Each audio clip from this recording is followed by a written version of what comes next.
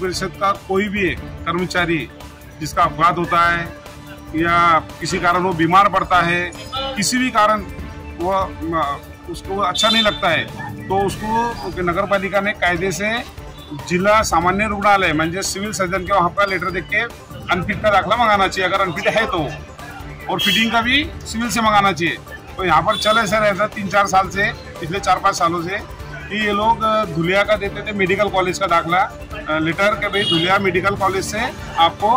Unfit का दाखला लाना है। और वहाँ पर हमारे लोगों को कम से कम सत्तर सत्तर, साठ साठ हज़ार रुपये खर्चा आता था। तो वो विषय में हमने जी आर बताए साहब को, और साहब ने जी आर को देखे और इसको मान्य करे क्या आज के बाद में नगर परिषद से जो भी बंदा अगर अनफिट होना चाहे, सफ़ाई कर्मचारी तो उसको हम जिला रुग्णालय का देंगे, म्हणजे सिविल सर्जन का देंगे अनफिट का दाखले के लिए,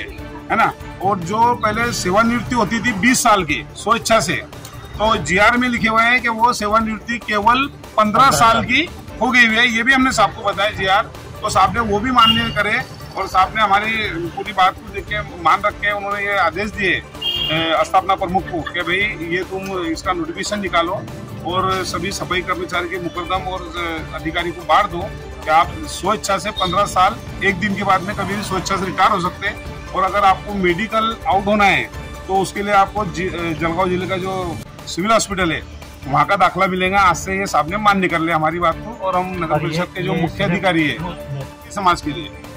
मेदर वाल्मीकि भंगी समाज के लिए ही है। इसलिए हम साहब का मुख्य अधिकारी का बहुत धन्यवाद बोलते हैं और उनको उनका आभार व्यक्त करके उन्होंने मान्य हमारी मान्य